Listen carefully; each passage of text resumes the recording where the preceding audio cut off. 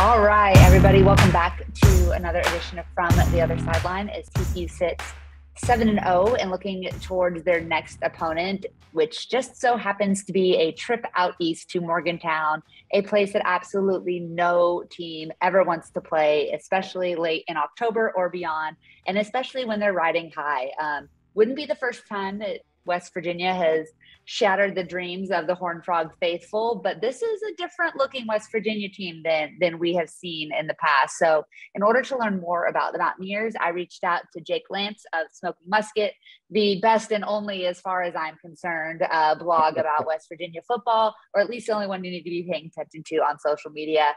Jake, how are things going tonight? Things are going well. It's it's a tough road for some West Virginia fans, but we're we're getting through. Well, let's let's start right there. Um, this is a very proud program with a rich and, and important history. Um, TCU fans might only know of the Mountaineers from the Dana Holgorsen era on, but this is a program that has enjoyed great success and, and has been a powerhouse um, across multiple conferences and in many ways um, kind of is the partner school to TCU in that regard.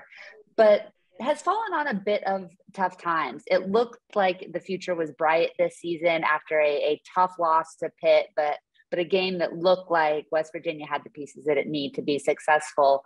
But a couple now, you know, halfway through the season, the Mountaineers are, are kind of hovering in that 500 range, have dropped some heartbreakers, and yet bounced up to beat Baylor here recently too. So, um, what are your early assessments on this team, and where do you fall in the Neal Brown should no longer be employed by the Mountaineers scale at this point in the season? So, it, West Virginia right now is a is worse than the sum of its parts. It it has the quarterback. JT Daniels is a five star quarterback who has the pedigree, having played at both USC and Georgia.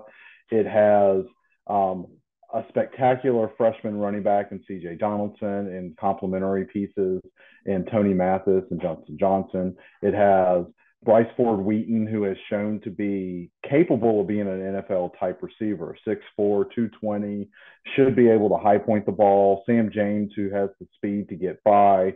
Kaden Prather, who has the ability to high point and take over defenses. So on offense, it has all the pieces. And on defense, it has Dante Stills, a fifth year senior whose dad played at West Virginia. It has um, Aubrey Burks on, on the back end. It has Lee Kpogba, who used to play at Syracuse. So it has pieces that have that have the talent necessary to be good. And, and you saw that at Pitt, where we were one play away, you know, a fluke uh, tip pass turned into an interception, pick six. Um, same thing, Kansas. We kind of caught Kansas when they were starting to catch fire, and um, you know we put points on the board, and, and, a, and a poorly thrown pass on the inside on, a, on, a, on an out route turned into a pick six. But we were able to come back and beat Baylor.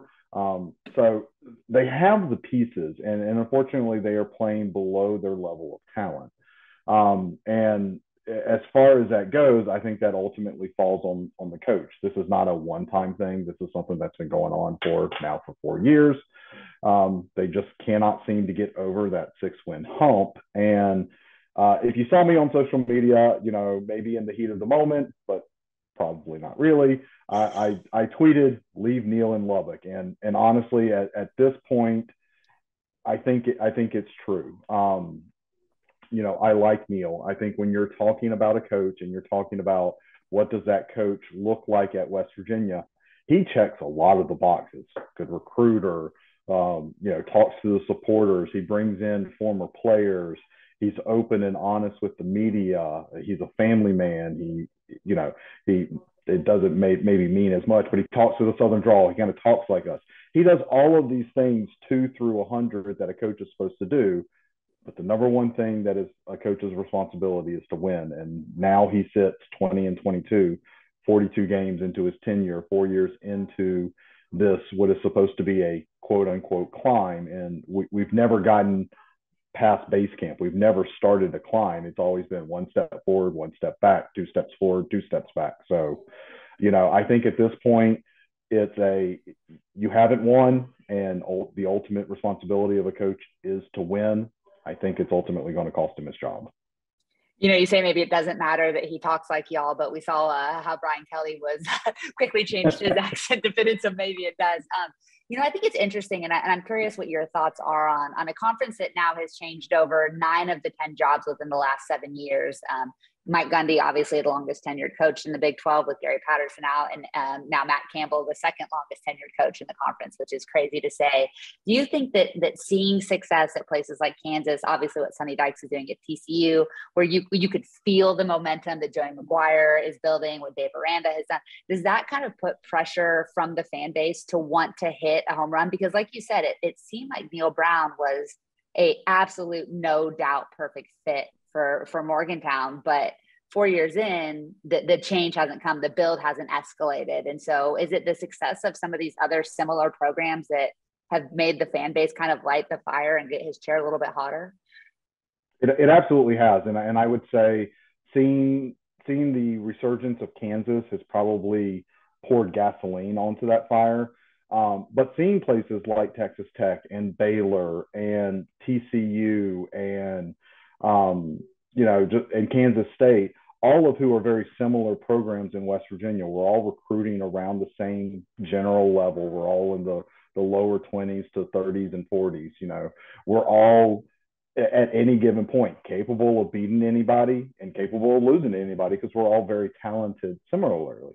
And so when you look at this and you go, okay, well, if Kansas can get better in year two and TCU can be undefeated in year one and Texas Tech can be uh, four and three and running 100 plays with a freshman quarterback and you know baylor can go two and 12 and then 11 and two and kansas state is you know slowly every year getting one more or two more wins. You why can't we? Well it, it can't be because of COVID. And it can't be because he came in and, and there wasn't enough talent. Like there's been enough time and we're seeing that it does it shouldn't take forever. It shouldn't take four, five, six years because other places are able to do it. I think from a fan's perspective, seeing a place like Kansas who turned over coach after coach after coach and you know, two wins, three wins, two wins, one win, no win, two win, one win. And then all of a sudden they're at five wins and you're going, you can't tell me that they had a stocked cupboard that they were just brimming with talent. You know, they were always that. Yeah, we might go uh, one and eight in conference, but we're going to beat Kansas. You can't say that now, right? And so when you look at at these schools that are two through ten or, or three through ten in the Big Twelve, you know, if you take out Oklahoma and Texas, almost everyone else is kind of grouped similarly with their talent. And if you're going we're falling further behind the rest of the conference. That's a problem. You know, if everyone else is moving at 60 miles an hour and we're moving at 30, we're, we're just falling further and further behind. You brought up JT Daniels earlier, and one of the things that the transfer portal has done is it has enabled schools like West Virginia and, and some of these schools that you know aren't the, the big time recruiters that don't get a lot of five star guys. The TCU had it with Zach Evans, even though he moved on quickly. But to, to get these these high level recruits to kind of fall into these non blue blood programs, but it's also very rare that you see a five star recruit on his third school you know, as a quarterback. And so usually that means that, that there's some talent, but it just hasn't been properly unlocked. Um, he's had some really great moments. He's had some fluky plays that aren't to blame, but it also feels like there there are some reasons why he's on his third school too. Um, what do you think of, of his fit in the West Virginia offense? And and he is he the type of quarterback that could take the Mountaineers over the top? Has he has he failed to reach expectations because of him, or has he failed to reach expectations because the program as a whole has failed to reach expectations? Yeah, that that's a really good question, and it's one that I think we're, a lot of West Virginia fans are struggling with because from a recruiting standpoint, from a talent standpoint, I'd say absolutely. He has every skill necessary to be the guy to take West Virginia to 9, 10, 11 wins. And when you're going, why is West Virginia so good? It should be because JT Daniels is the guy under center. Um, I don't think he has lived up to expectations because I would say a quarterback more than any other position on the football team his number one job is to make everyone else around him better. I think he has done that with the offensive line. West Virginia's offensive line has been much maligned. Um, last year, it seemed like if you decided to bring more than four people, they were going to not block somebody, and that is not the case this year. Um, he has done a great job of calling out protections, calling out audibles, sliding in the pocket, stepping up, stepping back, throwing quickly when needed to, throwing over the top when needed to. Um, but he hasn't raised the level of the receivers. And I think, you know, it's not something you can really explain, but you can see it.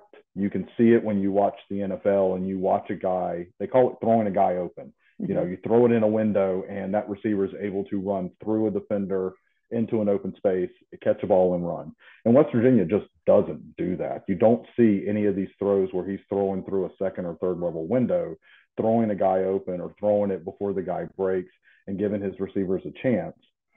At the same time, I don't think he's ever been bailed out by his receivers. Uh, you know, I spoke previously about having talent on the receivers, having Bryce Ford Wheaton and Sam James and these guys but something is missing in the receiver room that allows them to be bigger and better players. They're not fighting for balls. West Virginia is in the top five or 10 in contested catches, which, you know, on the surface sounds great. Hey, our guys are winning these balls. But why are they winning? Why are they having to win so many balls? You know, it's one thing if you say, hey, we are tops in, in the league in contested catches at six It's another when you're in the tops in the league at contested catches at 35. You know, there's one. so, and I don't know that that's the number, but it's something along those lines where it's just so many that it's, you're going, why is it so many? It's no longer because the quarterback is is giving his receivers a chance. It's more about he his receivers aren't getting separation and aren't giving him easy throws. So I think JT has not lived up to the expectations. Um, you know, having had Will Grier, having had Geno Smith, having had some of these quarterbacks who were prolific and throwing for three, 400 yards a game, you look at JT and you just kind of go, where's that moment where this guy grabs everyone by the throat and just slings it 50 times and throws for 400 yards and throws four touchdowns? There are flashes, but there's never been anything sustained. It also feels like West Virginia has led the league in drops the last couple of years too. So it's kind of insane to hear that contested catch because it, it well, and, and it's not necessarily sheer volume. It's like drops at the worst possible moment. Um, you talked yeah. about the play against Pitt. I mean, that was a catchable ball that should never have been tipped. And it feels like every year in big spots, you get one or two of those. Um, I don't, is that a developmental problem within, you know, within the coaching staff, or is that just again not having these guys that that have the talent, that have the size, that have the speed, but haven't quite put all the pieces together by the time they graduate? Originally, I probably would have said that it's a coaching thing only because it's continued to happen year after year after year. Um, I, but at this point, I honestly don't know. Um, I was talking to some people and thinking about you know, when I coach baseball and when I coach football. And some guys are just natural pass catchers. You know, I can think back that, and I kind of relate it to when I coach baseball that there are some guys who are who have never been afraid to field a ground ball in their life. They get that glove down, they get their, you know, they bend their knees, they they cradle the ball perfectly, and it doesn't matter if that ball takes a bad hop or not. They are ready for it and always. And then there are other guys who just are anticipating a bad hop, and that glove is three inches above the ground and they miss a ground ball when they should because they're thinking about a bad hop. And it almost just seems like that's what West Virginia has. West Virginia has guys who, on paper, have all of the skills, but just aren't natural pass catchers. You know, when when I think of Stedman Bailey or Tavon Austin or Kevin White or some of the guys who came through in the past, those guys reached out and took the ball out of the air. They plucked the ball. They were hands catchers you know, and it just it it doesn't seem like West Virginia has those. And I don't know how much of that can be taught. You know, you can certainly go out there and catch 10,000 balls off a jug machine, but when the lights come on and you've got a receipt, you got a defensive back, you know, bearing down on you and about to blast you on an eight yard curl route, you sometimes go back to bad habits. And if you're not a good pass catcher, you're just not a good pass catcher. So it seems like it's a you don't have guys who have the ability to who who don't have great skills at catching the ball, who are then trying to make plays to you know who are putting too much mental emphasis on trying to make a play, which then leads to those drops. Well, you know, we we talk about the talent, we talk about the issues, and and I want to talk a little bit about Graham Harrell too in this question. But at the end of the day, West Virginia is among the Power Five points per game leaders. They're they're putting up almost 35 per game. It's not that this offense isn't scoring. And so I, I'm going to assume that we're going to have some defensive issues we're going to address. But Graham Harrell was another one of those those people that seems like a good fit, and and maybe maybe he still is. What are your uh, kind of early returns on how he's been as an OC and and the system that he's put in place? Does he just need time, or or is it effective because he is putting up 35 points a game so far? My my initial thoughts are when he was hired, I thought it was a, another quote unquote home run hire. I was ecstatic for it. Um, you know, West Virginia's offense the first three years uh, under Neal Brown was not very good. Um, I don't know if he was trying to protect a quarterback in line that were below average at the time. Um, Harrell is definitely capable of producing points, and he has. Um, if you look at the box scores recently, you'll start to notice a, a decrease in the points per game. Um, Baylor's a little bit of an outlier because you see 43 and you think, okay, you know, they're back on track, they're scoring. Nine of those points were on the defense. They returned a mm-hmm. fumble for um, a touchdown and they blocked a, a, an extra point, returned that for two points. They also intercepted a ball, and I think we we were you know, on the 10 yard line or something to that effect. So it was another really easy score. Um, but hey, so but, that, but don't don't worry, you're not going to hear from TCU fans about advantages in playing a backup quarterback. I promise you're not going to get any of that from me because we know how that's been for the Horn Frogs. So I, I do think um, he has improved the offense, and from where it was last year to where it is this year, it's night and day. So uh, we're very happy with that. Um, it's very tough to know now. You know, coming off of the Texas Tech loss, there there seemed to be a disconnect in what they wanted to do. One of the things that West Virginia fans have been wanting to get back to is that long deep pass, throwing it down the field, getting some chunk plays. We started to see that at Pitt. We saw that against Kansas, and that has started to kind of taper off um, in the last few games. And again, is it talent? Is it trying to scheme because of a uh, you know offensive line or, or you don't believe in, in certain players. So I we're, we saw a lot and a lot and a lot of screens against Texas Tech, and we're not seeing those deep throws and those deep plays to okay well instead of needing to go 10 11 12 plays we can go score in three plays. And i think that is what is what's missing. So right now I'm happy with Harrell. I, you know, I, I think he will continue to get better. I think back to when Dana first came on, that first year in the Big East was not very good. You know, I think the offense ranked in the 60s and, um, you know, it wasn't lighting up defenses. But a year later, when we came over to the Big 12, they were, it was 49, 50, 55, 60 points you know, and it may just be something where, hey, one more year and you see the fruition of, of all this uh, talent and, and practice that that's gone into it.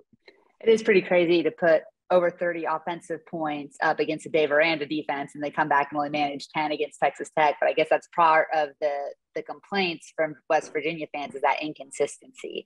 Um, you have those flashes where you see, oh, we can do some things, and then you have those games where everything falls apart. And obviously playing at home versus playing on the road. And Lubbock is very rejuvenated with with McGuire at the at the helm. Um, I, will tell you, I'd feel a lot better about this game if it was in Fort Worth than it being in Morgantown, based on on how how the Mountaineers have played at home. Still, um, let's talk about the defense a little bit. You know, TCU obviously is another one of those explosive offensive attacks, um, and I think the thing that has pleasantly surprised TCU fans coming off of the previous coaching regime is the adjustments that that this program is able to make now both on the offensive and defensive end. And so you mentioned dante stills obviously one of the most feared pass rushers um, in the country. And, and, everyone outside of morgantown was disappointed when he announced he was coming back for another year.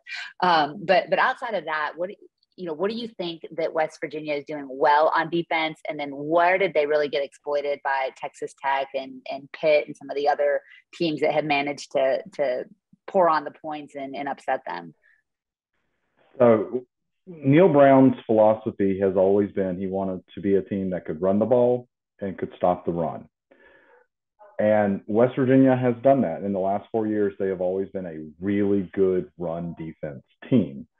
Um, and even right now, I think they're t- they were before you did wouldn't really know it against Texas Tech, but before they were a really good run defense team. They were top 25, limiting teams to right around 100 yards or so and under four yards a carry. Um, and you know a lot of that comes down to their defensive line. They've made a concerted effort to get bigger and have more mass on the defensive line to, to make teams have to devote more offensive linemen to them, therefore freeing up everybody else. Uh, the transfer portal hit West Virginia really hard in the back end. It stole several players, and so they were forced to to find new players um, through who were either F, FCS or um, G5 talents, and they were looking for guys who had starter experience. They didn't want to get backups on the P5 level. They wanted guys who had played previously. Uh, their goal was to find guys who were bigger, longer, and faster, hoping to play more man. But something's going wrong on, on the secondary, whether it's just so many new pieces who are un, unable to play at the at the division one level, who are unfamiliar with the defensive scheme or how it's being taught. The secondary has just been a dumpster fire. They are confused at the start. They are not covering guys. Um, you started to see it against Texas Tech. I thought against Pitt. I thought against Kansas. I thought against Towson and Virginia Tech. The the secondary was was okay. You know, there were there were moments that happened. They're young kids. It's a new scheme. You know, first, second, third game of the year. Those things happen. But then against Texas, you, you started noticing that hey, Texas is running a three by one set, and we've got two defensive backs on the wide side where they've got three receivers. We've got three guys on the short side where they've got one receiver. Like something's going wrong here. We're not we're not audibling right. We're not we're not covering right. And you started to see just really big lapses and really big bust in coverage. Um, and I thought Texas Tech was kind of the, the, the perfect storm in that aspect. They go really fast, which puts a lot of pressure on the defense to, to begin with. They throw the ball a ton, which is the the thing that West Virginia can't do. And they go for it on fourth down, which then just wears your defense out. So you started to just kind of see the heat, the wind, the the throws, the speed, the consistently going for it, knowing that hey, we got to stop. It was third and ten, we stopped them. It's fourth and four, and Texas Tech is like, I don't care, you know, it's just another play for us. That really just started to wear on them, and you could kind of see that that towards the end where they were just they were worn out. Uh, Texas Tech ran over 100 plays on them, and it just really kind of that's a lot. You know, that's a lot for anybody. That's a lot for a defense. Um, and so that's the one thing that worries me against TCU. I think if TCU tries to run, you play into the the hands of West Virginia. They would love to get into one of these three cloud three yards in a cloud of dust uh, games. But if teams come out here and say we're going to motion, we're going to go tempo, and we're going to throw the ball, West Virginia is in for a world of hurt. Yeah, and I think that's what's going to be really interesting is, you know, we've seen TCU go to the air and with Quentin Johnston and Jared Wiley now emerging and, you know, Darius Davis, Taye Barber. I mean, they certainly have the weapons. We saw them against Kansas State kind of alter the game plan and give a heavy dose to Kendre Miller. I think Max only threw, Duggan only threw the ball 26 times. And so it sounds like this is going to be a game where Sonny Dykes and, and uh, Garrett Riley are going to come out looking to throw the ball deep. Um, and depending on what the weather forecast is for Morgantown on Saturday, that could certainly play uh, be, be a be a bad thing for for the Mountaineers. Um, we I don't know how much you've had a chance to watch TCU this year, but is there anybody in particular that that you know considerably worries you offensively, or is there a player that you think defensively um, is going to have an advantage and make a difference in this game? So I haven't had a chance to watch a lot, but I do remember Max Duggan from from last year. Um, and I just I remember always thinking this is a guy that if he ever put it together is going to be special. And and that's one that I've I've kind of watched. You know, I'm quickly looking up his stats and seeing a guy who has 19 touchdowns to one interception kind of scares me. Um, and he was one that that I always thought if you guys could just figure if he could figure it out, if the light came on for him, he was going to be a special guy, and that's what it looks like for us.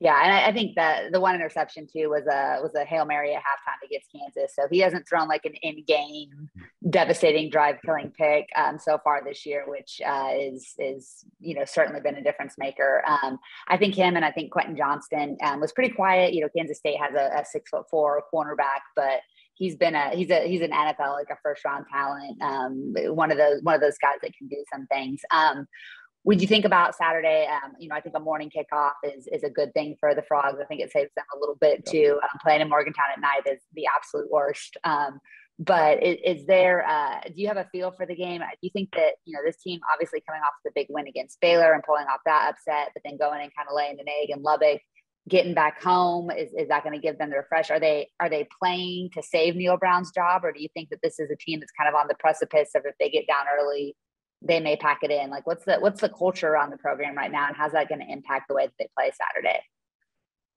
So i would say the the best thing i can say about Neal brown right now is that the team hasn't quit on him. You know even at three and four he still seems to have the locker room. Those guys still really love him.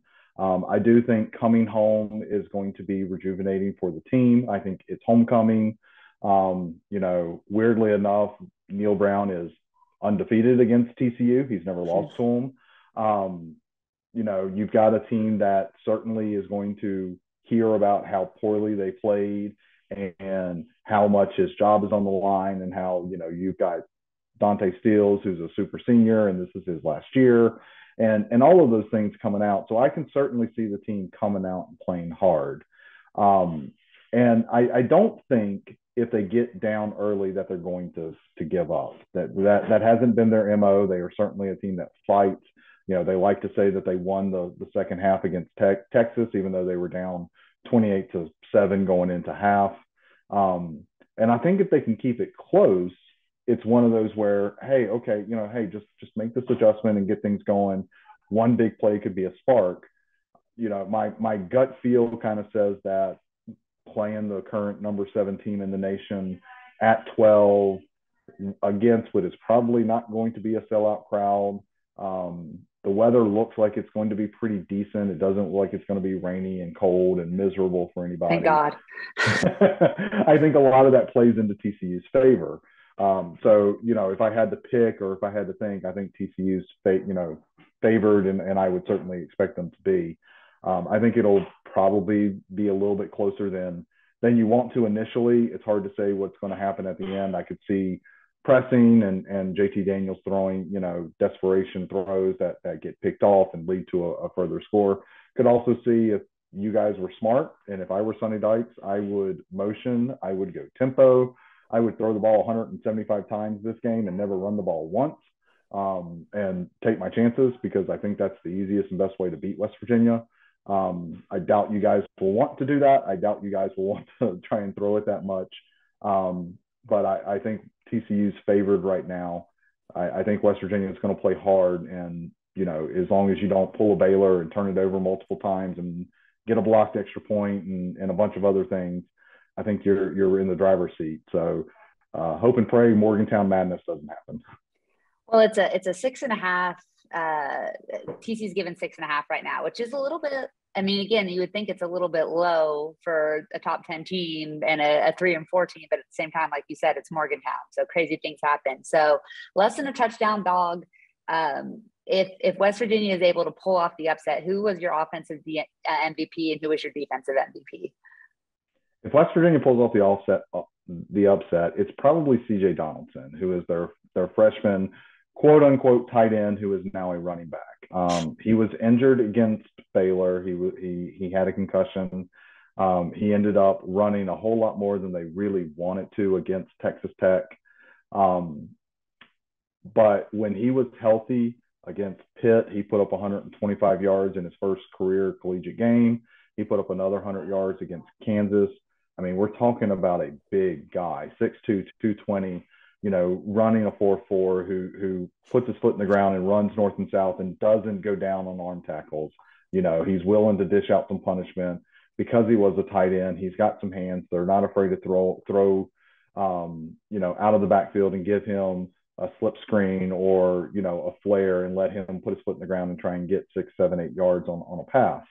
So I think if he gets back to controlling the line of scrimmage and, and generating positive yards in the run game, he would be my MVP. I could see him easily going for 110, two touchdowns, catching the ball five, six, seven times, you know, 30 yards or whatever, and just kind of controlling and keeping West Virginia in the game.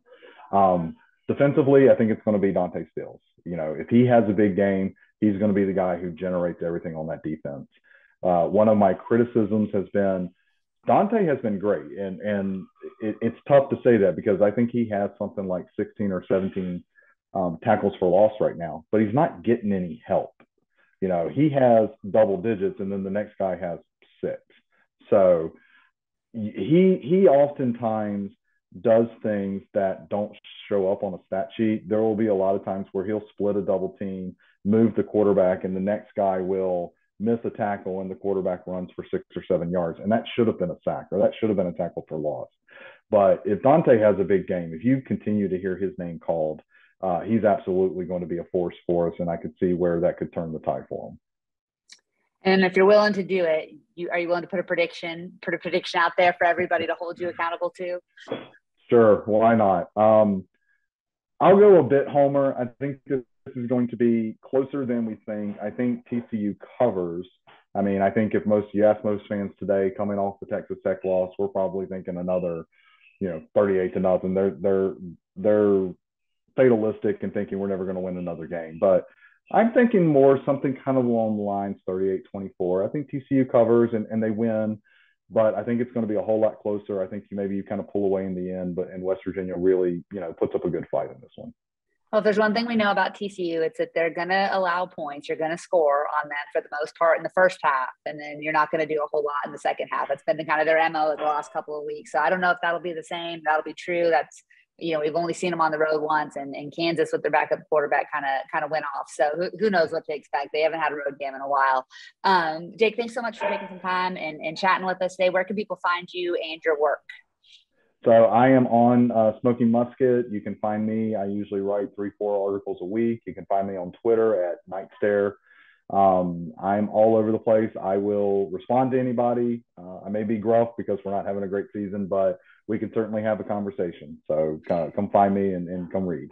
Well, we are we are uh, learning what it's like to be on the end of Gruff fan bases for the first time in a long time over at TCU. Uh, lots of salty folks in the mentions here the last couple of weeks, but yeah, I guess I guess that comes with the territory. Um, I, I will say I think the, the kinship between TCU and West Virginia is coming in together into the Big Twelve. Um, I'd still say the absolute best tailgating experience I've ever had outside of Fort Worth was in Morgantown, and honestly, it's probably a little bit better than TCU's. I, I had an absolute blast out there, and a game where you know the first play of the game, Kenny Kenny uh, Hill threw a pick six so still had a great time. had a great time. So uh, I, I, think this is going to be a crazy one. It's going to be fun. Again, I think we're really, really lucky that, that we're getting the, the noon Eastern kickoff and not the, the 8 p.m. Eastern kickoff. But uh, you can't take anything for granted when you play West Virginia, no matter what the circumstances. So I, I think we'll have a good one. Um, thanks so much for, for talking West Virginia with us. And, and I, I know I'll be looking forward to, to an entertaining game because TCU and West Virginia don't play many games that aren't entertaining. No, they certainly don't. Thanks for having me.